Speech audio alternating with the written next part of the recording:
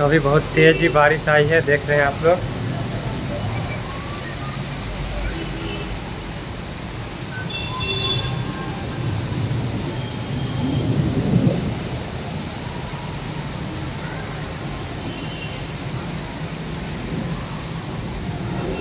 बहुत ही तेज़ बारिश अभी आई। है